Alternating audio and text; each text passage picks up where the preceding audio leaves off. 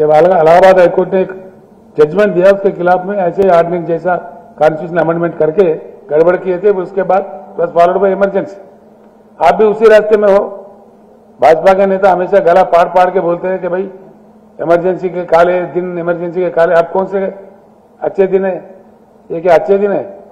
Emergency के काले दिन से भी बुरा है। It's worse than emergency you are not allowing the people selected, very popularly elected Delhi government to function even you are not able to honor the Supreme Court judgment then what else not honoring the Supreme Court larger bench judgment means going towards your journey is towards emergency only which the country will refute ये आपको सबक सबक सिखाएगा अभी कर्नाटक में सिखाया लोगों ने आगे पूरे देश में सिखाएगा इसीलिए हम अनुरोध करते हैं कि विड्रा कर लो अपने आप जैसा आप किसानों का कानून भूमि अध्यादेश का कानून वो सारा विड्रा कर लिए थे आप तो माफ़ी के सौदागर हो तो इसीलिए बेटर है, अपने आप में विड्रा करो।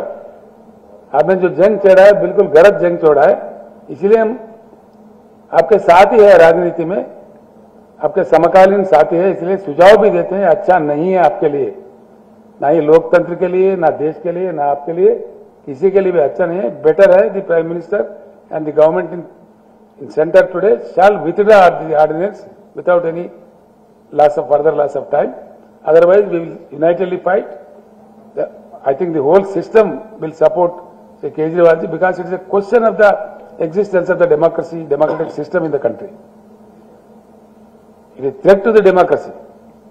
It is a challenge to the democracy which is not supposed to be in a big country like india. It cannot be tolerated. The government of india should come to senses and withdraw the ordinance